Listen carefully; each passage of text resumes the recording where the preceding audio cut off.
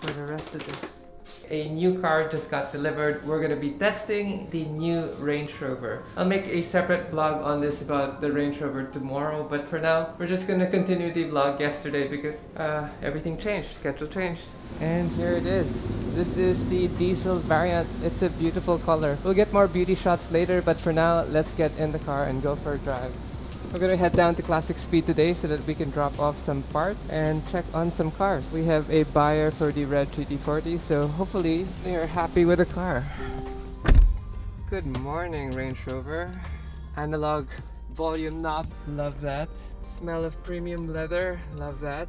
This is the diesel version, so gotta make sure when we gas up, it's diesel, but then again, it's probably gonna last us for ages two spokes for the steering. The two spoke steering wheel looks good. The steering is very light. Look, one finger to turn the steering wheel on these huge, I think 20s or 22s. We'll confirm all that later. Let's go for a drive. Oh, even the graphic moves. Look at that. Now, that's the color I ordered. It's the gold, Batumi gold.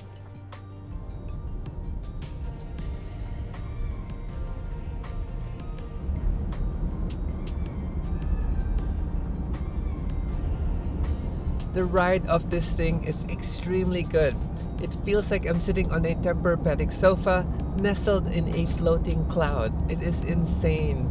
And another thing, it is insanely quiet in the cabin. Obviously we have the music off and I don't know if the noise cancelling system is in this headrest but I know in the autobiography they have the noise cancelling system in the headrest. Now even if this doesn't have the noise cancelling, I don't think it does it is so good, it's so quiet. Just makes me want to plan some road trips because the car is just such a capable SUV for traveling long distances. Now the diesel variant seems like it's going to be the most sought after version of this car. The power is ample already for a normal family. Now obviously I ended up going with the V8 twin turbocharged engine I'm not quite sure why the full-size Range Rover got the twin-turbo engine and then that the Defender that I got got the supercharger.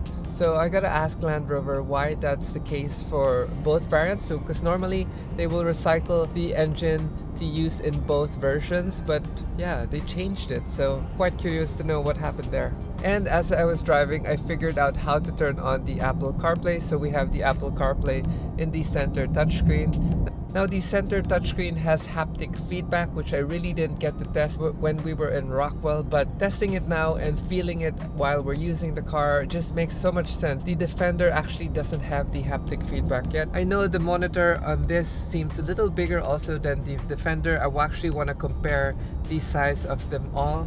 Now we also have a wireless charging port hidden nestled all the way deep inside because I thought I forgot the cable so I'm not going to be able to charge my phone. But I did see the wireless charging emblem nestled all the way in. I will video that later, but pretty useful. Now the sound system is superb. It just makes me want to listen to the music louder and louder because it sounds so good. It has the clarity, the bass, and the mids which fill in the cabin. And because the car is so quiet already, or the SUV is so quiet already, it just makes it feel like you're in a concert hall. One of my favorite features is the analog volume button. I keep talking about this, but it just makes more sense when I need to rush up the volume. It's easy and I need to put it down. It's also easy. I really hate it when the manufacturers use a push button to lower the volume because that means you have to rapidly press everything just to get the volume up or just to get the volume down. Almost at the car shop. Gonna pass by there later too our expansion area for our painting. So we're reorganizing the car shop and gonna check for updates. Huge. Yes, R22. Kahit 22, the ride is so good. The buyer just left looking at the red GT40. I'm gonna do some shop rounds first and then I'll pick up the camera again. These are the mags for the Evo which we're gonna bring down to Raleigh. So, I have to load the mags later ah. Kailangan sapinin natin para hindi magasgas.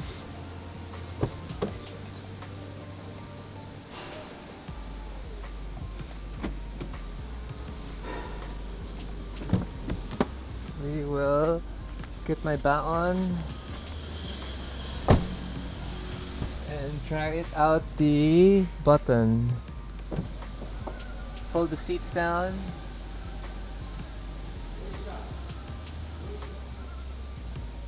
How awesome is that? Okay, and then leave it open first so we can load the mags. Okay, let's do some shop updates. So from the last build video of the GT40 with the Martini livery, we haven't been able to do anything, but the team has basically taken the car apart. We are trying to fit an electronic power steering into the under dash, which we're actually gonna discuss after lunch. And also we're trying to see how we can add a hydrovac so that we can get a softer braking kit. After that, we are also going to finish the paint of the car. So when I left, the team basically removed the original side sill and was able to fit the carbon piece much better and it wasn't even rubbing on the door anymore because I thought we had to shave the door down so that we can fit it. So far the kit is fitting really well. I can't wait to paint everything into the new livery. Uh, we will try to add a pin here for the lock so that we can be safe. This needs to be rethreaded. That's why you have the knockoffs here and then you have the wheel lock spacers on the back or the center lock spacers on the back. Now the 356 over here we're waiting for the parts to get chromed from Germany and that's going to take another while. I've been following up with 2233 and they haven't given me any updates on that. I really love how the fender vents turned out. Can't wait to see this completed. As we're warming up my lunch, we're gonna go outside and update again. So the buyer loved the red GT40, it's just that he doesn't like the price. So I told him I can't lower the price because this is a very limited edition car and it's very hard to get. So firm on that. This one we are doing final detail work so we can show it to the prospective buyer next week. This is Jed's Charger, which is getting a full down makeover and restoration. This car is almost done. This is a 67 and very unique color. I like it. But I do love this candy red. It's like a deep candy red. It's not shined yet, so um, doesn't look so sparkly. But when this is detailed, it's gonna look so good. Now, Skyfiro. Skyfiro is almost done. The alternator's finally in, the wiring is finally set. We just need to finish some minor details so Kyle and the air suspension team can come back and do the kit. But basically, this car is almost ready. We're gonna have a drift car finally and we can rock it properly without damaging the other cars. Now, the Charger had to be repainted because there were some defects in the paint that I wasn't happy about. I'm now looking at ordering other wheels also because these wheels for me don't really do it, especially the offset of the front wheels over here. Over here, the black GT40 Mark II edition. This one is just parked because we have no time to work on it yet. Whatever we're learning from the other GT40s is what we are improving before we get to the last car. Now, over here is a client's car. Look how full this engine bay is. It is literally the whole compartment. Now, the engine is a Coyote engine from Roush along with a supercharger. It actually sticks out of the hood just a little so we had to modify the hood so that we can fit it under the cowl. Now as you can see this one doesn't even have the struts already inside, it's outside and still it is very tight. Now these supercharged motors have a reverse alternator, the alternator is facing this way but this car also being finished up so that we can batten it down and test it soon. C6 Corvette on hold, uh, waiting for another tester. I'm gonna get a quick update on this because I want to know what's happening and that's about it. Some over here we have our new Mustang rear end. This is a 65 rear end that we're assembling and let's go over to the other side not much work here in fabrication. We are, I guess, yeah, we're finished with some of the work. I, I think the Mach 1 of my friend is gone. Um, we have put the C2 chassis on some wheels. We are finishing some sofas over there, sofa over here, and then the R33, we're just waiting for parts. I'm gonna get some updates on that also. But this is the cars here and the denting side. So this is a 1967 build that we've done. This is a very, very old build from the old classic speed shop in Clark Angeles City. And now I met the owner recently when we were doing the RX-7 build. So he's going to basically ask me to make sure the car is streetable. He wasn't so happy with uh, how it was driving. So it's here to basically get a full checkup. This car is a beautiful spec these are the fender signal lights for the F430. I'm going to use them as signal lights for the GT40. I think they're gonna work because the shape is very classic. Anyway, we're gonna go to the other warehouse to update you guys with the cars on the other side. We are restoring this MRS, but lots of work needed to be done. I'm very particular about gapping and whoever did the kit for this car disregarded the gapping. It's closed here, it's far here, it's open and wide and then it's closed again. So definitely before we even touch the paint, we're gonna finish the gapping and fix the alignment of everything. We wanna make sure the alignment works well when you mount the taillights, when you mount the panels, that it's all flush and seamless together rather than one's floating, one is off. You know, basic things like this where you can see the shape of the fender, there's a dip here and then there's a straight edge here before it gets round. So stuff like that we will fix. The gapping also is very different and I'm not a big fan of that. We want to make sure all the lines that uh, are seen on the car are very very clean. So front bumper also weighs like a rock Oh my god. Okay, yes. Definitely that's a plug. You guys don't know what a plug is, a plug is the raw product before you need to mold it. So that's how you shape the product and then you mold it so you get a final piece which is super light. This is our new paint area and it looks so good. Okay, it's time to wrap up here and finally get back in the Range Rover and we're going to load the mag so that we can drop it off and visit the Evo 5 and find out what's happening with the rally car. So let's load the Range Rover and get on our way.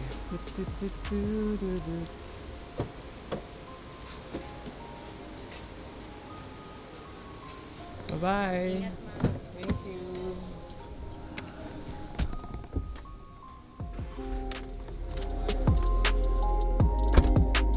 So the mags behind me are gonna go to the driver later this afternoon and hopefully he can drop it off and we will update with the Evo next time. Change of plans again, so sorry about that. So we're just gonna load the M4 this afternoon around 4 p.m. and then after that I think we can wrap the vlog up. And just in case you're wondering, these are 17 inch mags and there are four pieces behind there. So you can see there's a lot of luggage room in the back of the Range Rover. We didn't even need to fold the seats down technically, but I just did it so that I don't leave any imprints of the carpet or scratch any of these surfaces. As you can see also we put cardboard everywhere, so I'm trying to be super careful. This is not my car. I think technically on the disclaimer, I'm not supposed to haul stuff with it that are not people related. So sorry Range Rover. Back in the city. 33 minutes. Let's do this. We have arrived in the condo super comfortable. Locking the car. We're gonna leave this car first real quick, grab the keys to the M4, and then come back down. Such a beautiful shape. Tow truck finally arrived. We are gonna load the M4. The M4 needs to go back to the farm because we ended up selling the wheels and we are gonna do a wide body kit for it.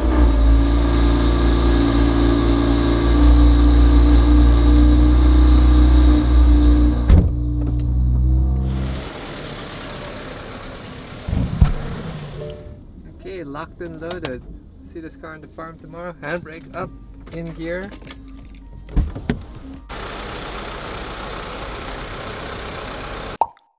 It is another day and I decided to continue the vlog from yesterday's vlog and the other day's vlog because I don't feel like the storyline is good enough so we are getting back into the 2022 Range Rover to head to the farm. We have a lot of shuffling and parts to mix up and bring down and then after that we're just gonna head back down the city. Hopefully we can get some beauty shots of the Range Rover and then Joey can give her first impressions of what she thinks of this new SUV.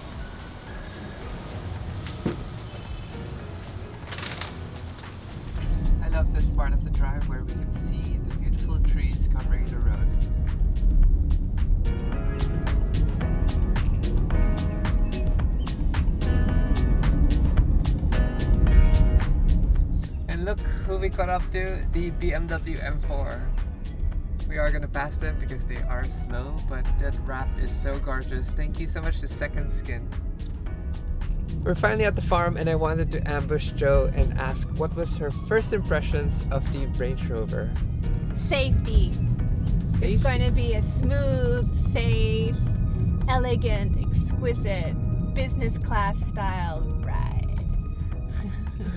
That's you, what I thought. Do you feel like it's really comfortable, more comfortable than our old Range Rover? Well, it's new, so it has that newness feels about everything. But it reminds me so much of what we had before. It still has the foundations of what Range Rover provides you, but this is more spacious. Oh yeah, I think It's it's, definitely a lot more it's roomier. way bigger. Um, what do you think about the quietness of the cabins?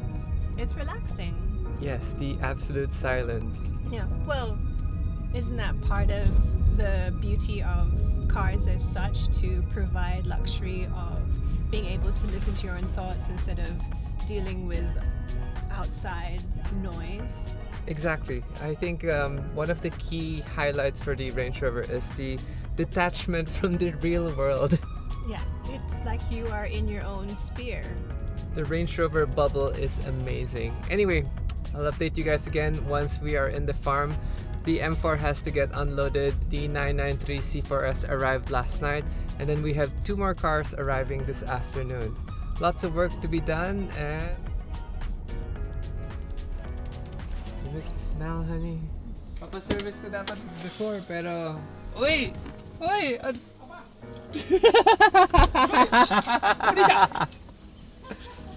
Nanginig po ma'am.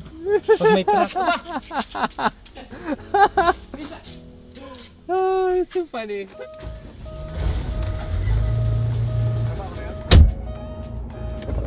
Baba mo na yung gamit. One car parked. Park the Range Rover next. Hello, my babies. Hello, my babies. Some parts have arrived. Okay. Lots of car movement today. So M4 is gonna come down, park over here, uh, and then two more cars coming this afternoon. And then we're just basically gonna remove the wheels and tires of the M4 so that we can send it down to Manila. Uh, the SVJ seats need to come out.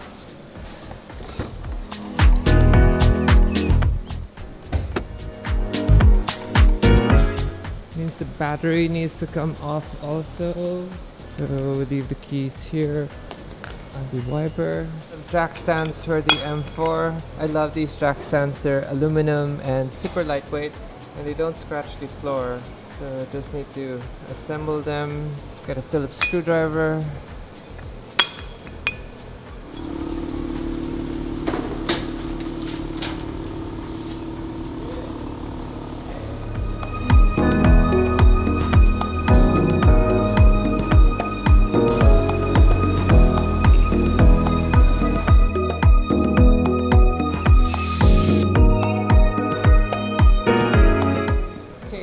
Mags on, kit is off.